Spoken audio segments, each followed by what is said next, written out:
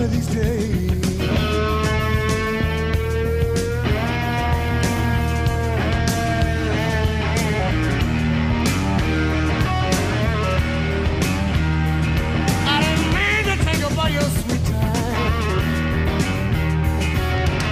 give it right back to you the rest of my day.